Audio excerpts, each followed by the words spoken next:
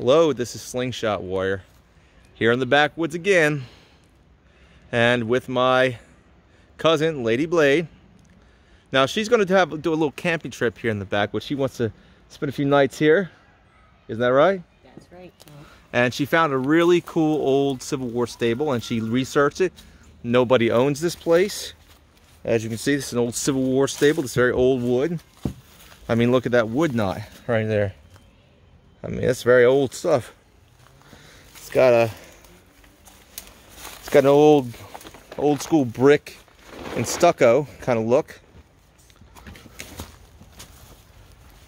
As you can see, look at this. Now, she's made some improvements for making it habitable for human consumption. Now, she can make a fire pit with stones here. Know man. In this area. Isn't that right? That's right. That's where she's to put a fire pit, but this is where she's to be staying. As you can see. Now she's done some pretty good work. She did this with a staple gun.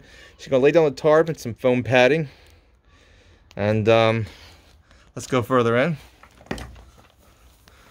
Now, she's very clever, old Lady Blade. She's um, she's uh laid down a lot of tarp around the walls. Not everything is completed, but as you can see, she's made it so the uh, thing where water, if water seeps in from the, from the ceiling, oh damn, It'll run right off. it'll run right off. And as you can see, there's a spider on the tarp. So it'll run right off down there. And she's weather she's weatherproofing these walls by putting layers of tarp and plastic uh, with a staple gun you know.